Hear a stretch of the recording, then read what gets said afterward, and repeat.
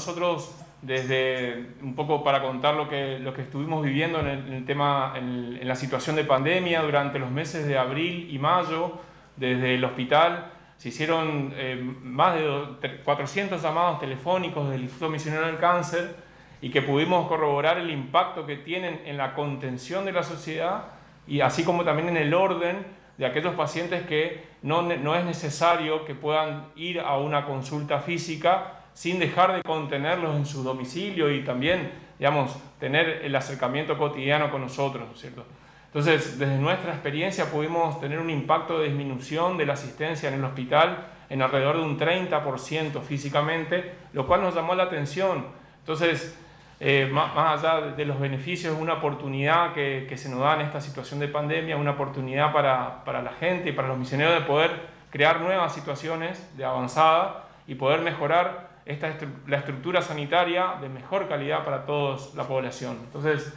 nosotros eh, ideamos esta logística a través de un grupo médico, de clínicos generalistas que son internistas y que realmente eh, nacieron en el Hospital Madariaga, se formaron, son líderes y pueden hacer un triage realmente óptimo en aquellos pacientes que solamente la, consulta médica termina en la teleconsulta o que requieran sí eh, una, una, una, asistencia de mayor complejidad. Entonces ingresaría al hospital de una forma ordenada, con un médico de interfaz y facilitadores, como decía Cecilia, eh, dentro del hospital, para allanar el camino y que el paciente ingrese al hospital de una forma eh, mucho más ordenada, con, una, con un trazo arquitectónico de su tratamiento y diagnóstico mucho más ordenado. Entonces esto ganan todos, gana el paciente con un acceso rápido, gana el hospital para descomprimir la cantidad de gente y eh, la rapidez, como decía el gobernador, en, el acceso y en el trazado de los tratamientos de alta complejidad.